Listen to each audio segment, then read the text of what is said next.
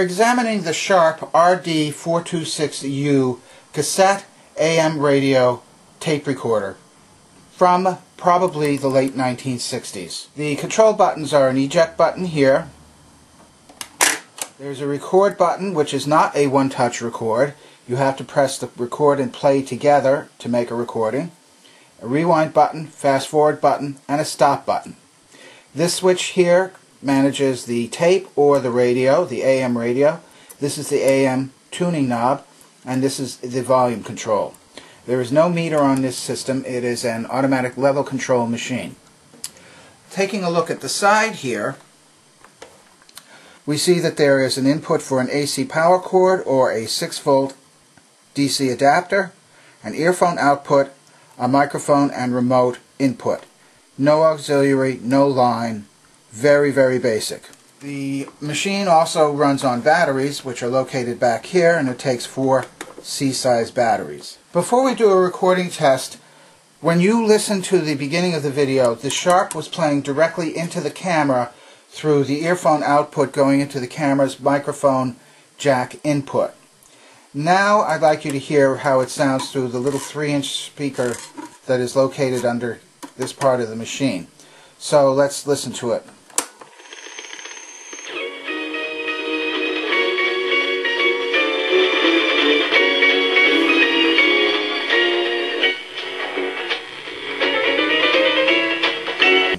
Let's listen to the AM radio. The radio gets very poor reception in my area. Bugs Moran, who wasn't there 80 years ago, and here it is, 80 years.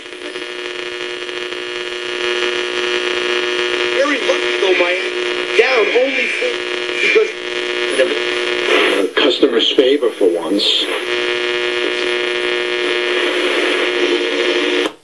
You hear a lot of buzz that comes in on the radio. It's very disappointing.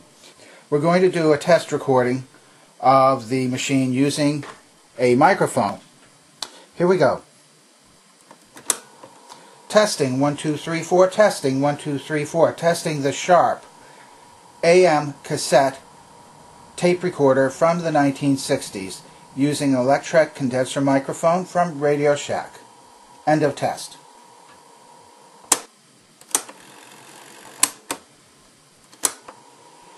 Testing, one, two, three, four. Testing, one, two, three, four. Testing the Sharp AM cassette tape recorder from the 1960s using an electret condenser microphone from Radio Shack. End of test. Makes a nice clear recording even though it is a DC bias machine. It uses a magnetic erase head, which is pretty common for the DC bias machines. Overall, it's a pretty good quality machine and I kind of like it. Now, if I want to record FM music, I can simply use a attenuating patch cord hooked into an FM receiver. Here is a sample of a classical music recording that I did last night.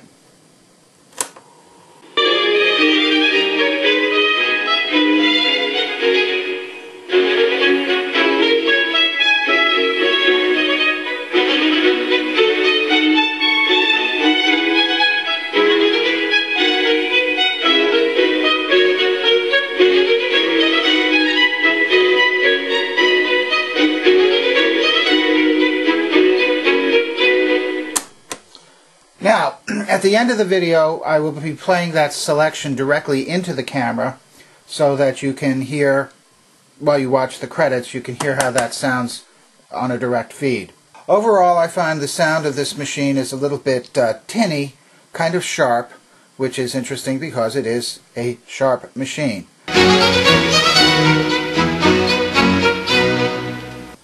Looking at the underside of the Sharp, and the mechanism is somewhat similar to the Philips type of mechanism. The capstan is located here, at the flywheel, and the motor is located over here, which may be out of camera range. And I've removed the belt temporarily, and there's a fast-forward rewind idler that is constantly pressed against the capstan flywheel.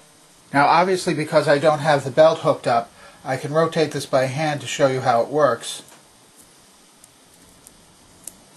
So you can see that the idler is spinning even though the machine is in the stop mode. When the machine is put into rewind, the idler is shifted so that it will work the rewind part of the upper part of the deck. And when it's in fast forward,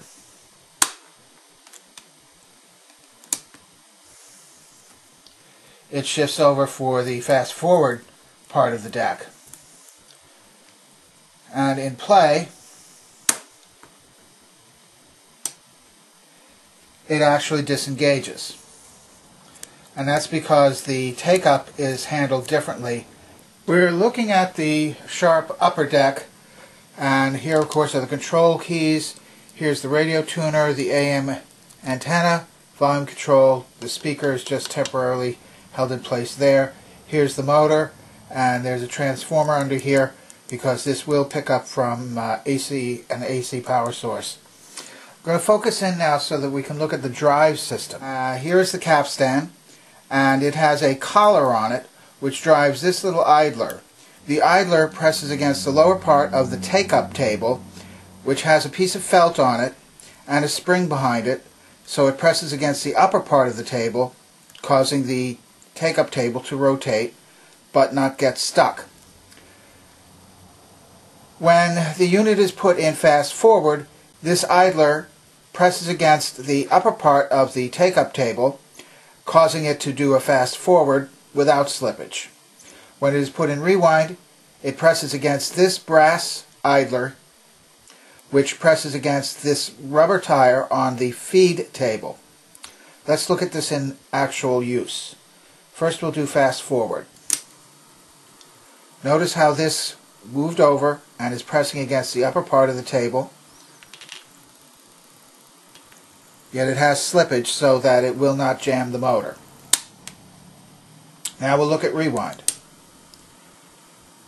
Notice that the brass idler goes between these two parts, transferring the motion. Again, it has some amount of slippage so that it will not tear the tape or stall the motor.